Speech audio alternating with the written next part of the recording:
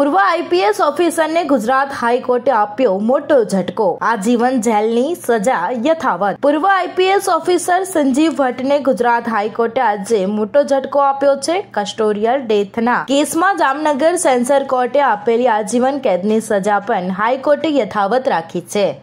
Justice Ashutosh Shastri અને justice Sanjeev ભટ્ટની divisional બેન્ચની તેમની અરજી ફગાવી અને જણાવ્યું કે ટ્રાયલ કોર્ટ અપીલકર્તાઓને યોગ્ય રીતે દોષિત ઠેરવ્યા છે.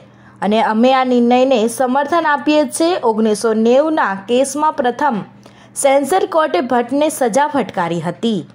જામનગરમાં કોમી રમખાનો ફાટી નીકળ્યા બાદ પૂર્વ આઈપીએસ અધિકારી સંજીવ ભટ્ટે ટેડા અધિનિયમ હેઠળ લગભગ એકસો ને તેત્રીસ લોકોની અટકાયત કરી હતી. ત્રીસ ઓક્ટોબર ઓગણીસો ને નેવના રોજ વિશ્વ હિન્દુ પરિષદ અને ભાજપ દ્વારા ભારત બંધનું એલાન આપવામાં આવ્યું હતું. તત્કાલીન ભાજપ પ્રમુખ લાલકૃષ્ણ અડવાણીની ધરપકડના વિરોધમાં બંધનું એલાન આપવામાં આવ્યું હતું. આ દરમિયાન અટકાયત કરાયેલા વ્યક્તિઓમાંથી એક પ્રભુદાસ કસ્ટડીમાંથી મુક્ત થયા પછી મૃત્યુ પામ્યા હતા. તેમના પરિવારજનોનો આરોપ છે કે ભટ્ટે અને તેમના સહયોગીઓએ તેમને કસ્ટડીમાં ટોર્ચર કર્યા હતા. સ્ટાર ન્યૂઝ સેવન હંમેશા સચ્ચાઈની સાથે.